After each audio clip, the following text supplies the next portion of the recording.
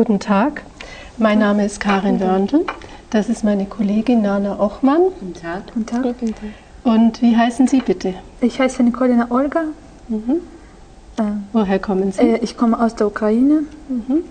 Und ähm, momentan bin ich Sprachstudentin in Deutschland und lerne Deutsch für mein Studium weiter. Was studieren Sie? Ähm, momentan nichts, aber ähm, ich möchte Politikwissenschaft studieren äh, als Hauptfach und als Nebenfach Slavistik. Ah ja. Interessante Fächer. Welchen Beruf möchten Sie später ergreifen? Also ich möchte äh, später in einer der äh, internationalen ähm, Organisationen arbeiten. mhm. Zum Beispiel, haben Sie schon genauere Vorstellungen darüber? Ja, vielleicht oh, äh, UNO oder ja, keine Ahnung. Schauen wir mal. Ja. Sehr interessant, ja. Ist Politik äh, ein Fach, das Sie aus Interesse gewählt haben? ja, aber äh, mit Schwerpunkt internationale Beziehungen. Deswegen, Und wie lange lernen Sie schon Deutsch? ja. Ähm, äh, ja, so seit, seitdem wie ich in Deutschland bin. Mhm. Und Sie bitte? Ich heiße Lena Narajewska. Ich komme aus Kasachstan. Aha. Und sind Sie auch Studentin? Äh, nein, ich war vor kurzem Sprachstudentin, jetzt habe ich aufgehört und jetzt bin ich zu Hause mit meinem Mann. Ich bin verheiratet. Ah ja. Welchen Beruf haben Sie oder möchten Sie ergreifen später? Ich habe in Kasachstan schon studiert. Ich habe Chemie und Ökologie studiert, also bin ich Chemikerin und Ökologin. Ah ja. Und jetzt suche ich gerade eine Arbeit hier. Ah ja. Ist das schwierig wahrscheinlich? Ja, eigentlich schon. Aha. Haben Sie da ein Spezialgebiet in Ökologie und Chemie? Da muss man sich ja normalerweise ein bisschen spezialisieren auch. Das ist normalerweise in Ökologie so chemische Forschungen, angewandte Ökologie in der Chemieindustrie, Mhm. Ah ja, diese Richtung. gut. Ja, dann beginnen wir mit dem ersten Teil der Prüfung. Äh, Sie haben ein Aufgabenblatt mit einem Thema bekommen, über das Sie jetzt sprechen sollen. Wer möchte gerne beginnen? Ja, Gut, an. beginnen Sie. Bitte schön. Äh, so, äh, zum Thema äh, Kommunizieren per E-Mail. Äh, also, äh, aus meiner Erfahrung kann ich sagen, es gibt verschiedene Webseiten, wo man eigentlich eigene E-Mail-Post, E-Mail-Post äh, äh, eignen kann und äh, auch benutzen. Die sind alle unterschiedlich, aber funktionieren alle gleich. Äh, Es gibt äh, in meinem Land zu- zum Beispiel noch vor fünf Jahren äh, war E-Mail-Post noch nicht so verbreitet. Die Leute hatten irgendwie äh, Angst, so sowas Neues zu benutzen. Aber heutzutage benutzt man sehr gerne E-Mail-Post. Das hat auch äh, eigene Vorteile und Nachteile. Äh, und Vorteile äh, sehe ich als Vorteil sehe ich, dass man äh, kann sehr viel äh, Briefe speichern. Äh, äh, zum Beispiel, weil für ganz normale Briefe braucht man viel Platz irgendwo und das kann man im Computer in irgendwann eine äh, Ordner, äh, Ordner machen und einfach da äh, alle Briefe speichern. Dann man braucht auch, das funktioniert ganz schnell. Man kann ähm, so äh, ganz äh, so ganz schnell jemanden erreichen und äh, sich informieren lassen oder jemandem irgendwas mitteilen. Auch ähm, das ist äh, viel sicherer als ganz normale Post. Äh, ich meine, manchmal äh, weiß man nicht, ob mein, mein Brief der Empfänger erreicht hat oder nicht. Und auch äh, kann man sich äh, ähm, so, man braucht auch keine Briefmarke. Das kostet auch, äh, das, man äh, spa, äh, spart auch das Geld. Äh, und äh, naja, das ein, einzige Nachteil habe ich gefunden, dass man das Einzige, was man viel Platz dafür braucht und dass man nicht der Schrift sieht. Manchmal möchte ich schon äh, Schrift von äh, Absender sehen. Äh, dann, also, als, äh, ich benutze eigentlich sehr gerne Po- äh, E-Mail-Post und bin eigentlich sehr zufrieden damit. Also, Das ist mein An Gut, Das war's. Sie sind fertig. Ja. Dankeschön. Bitte, Sie sind dran. Danke. Äh, mein Thema, das ist Kontaktanzeigen äh, in Zeitungen, um einen Partner zu finden oder sogenannte Partnerbörsen im Internet. Äh, zu diesem Thema habe ich eigentlich mehrere Beispiele aus meiner Erfahrung, aus meinem Leben. Ich habe eine äh, sehr gute Bekannte von mir und sie hat ihren Mann äh, durch eine Zeitungsanzeige gefunden. Es war eigentlich ganz normal. Er hat die Anzeige gegeben und sie hat geantwortet mit einem Brief und Foto.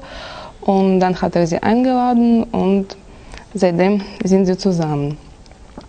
Äh, bei uns äh, in Kasachstan, wo ich wohne, in meinem Heimatland, ist es ein bisschen noch äh, wild, also diese Art kennenzulernen.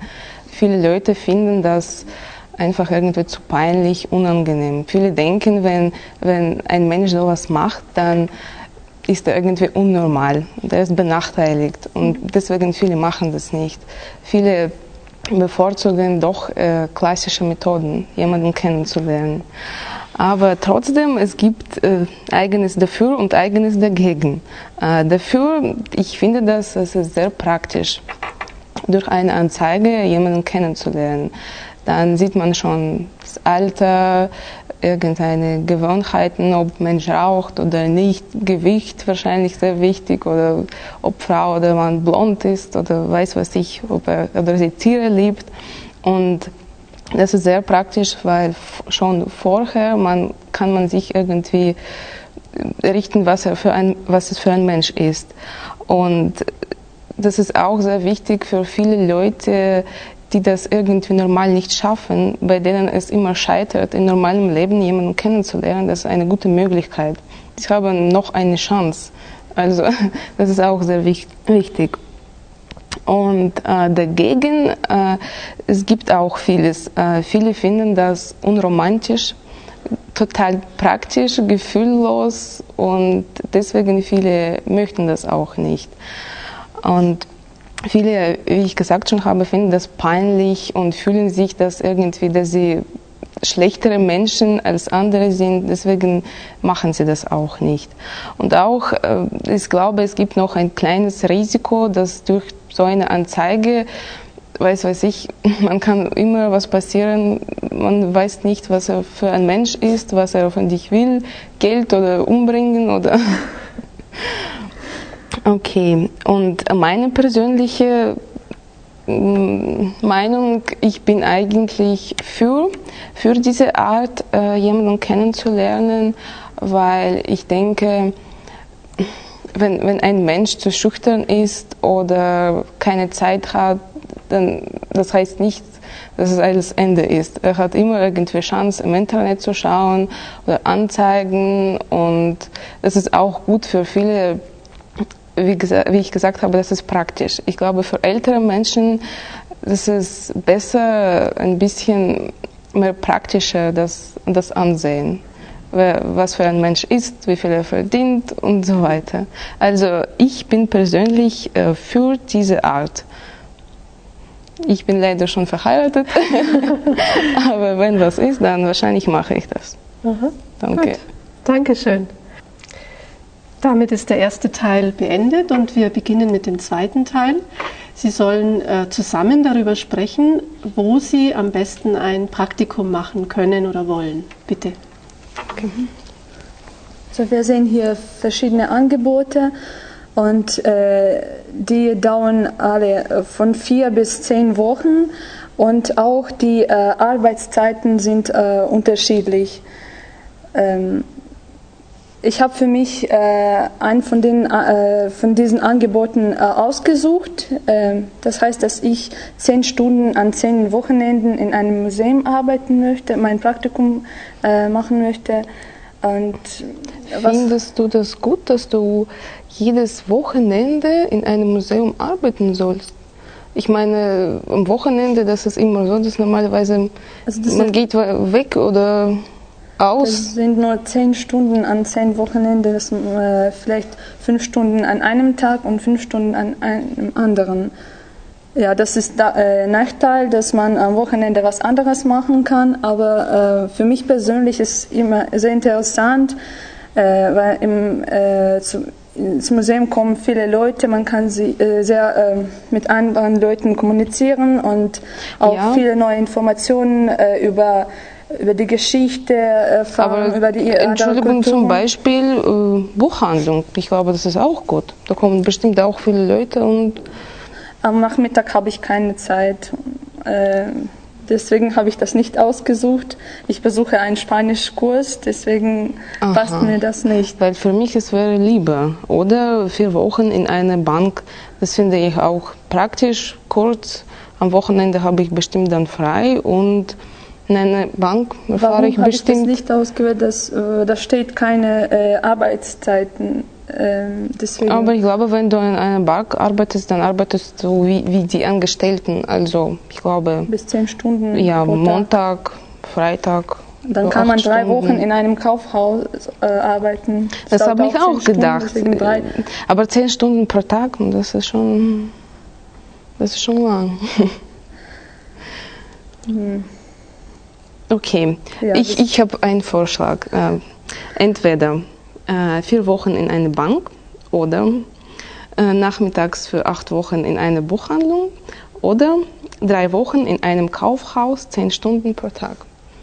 Es wird zu anstrengend, aber ja, vielleicht lieber drei Wochen in einem äh, Kaufhaus zu arbeiten und dann bist du fertig in drei Wochen. Also hast du dein Aber Praktikum. Du sagst, dass du gerne mit Leuten reden möchtest. Ich glaube, dann ist es okay. Im Kaufhaus Ja, es ja, kommen bestimmt man- viele ja. Kunden und dann ist es nicht so langweilig wie zum Beispiel sechs Wochen in einem Forschungslabor. Nee, das, Das ist zu lang und einfach zu langweilig. Das kommt nicht in die Frage.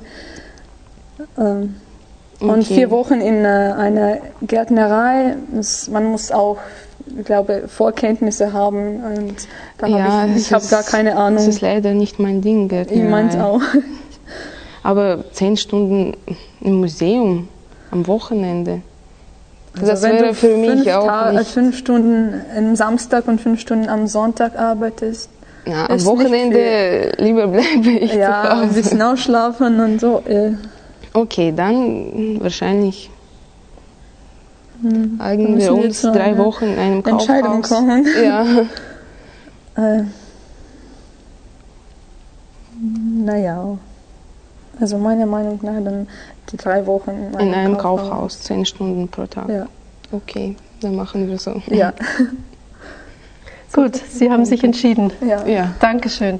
Das ist das Ende der Prüfung. Wir wünschen Ihnen noch einen angenehmen Tag. Danke. Dankeschön. Wiedersehen. Wiedersehen.